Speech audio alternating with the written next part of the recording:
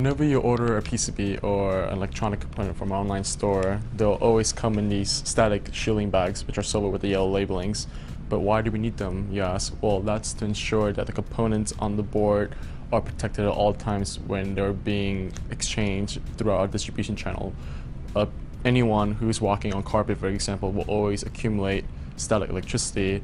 If they were to handle this board without the bag, then of course all of our static electricity that was accumulated will damage the components on the board. So we always ship our components or parts in these bags to ensure that your products come to you at its optimal quality.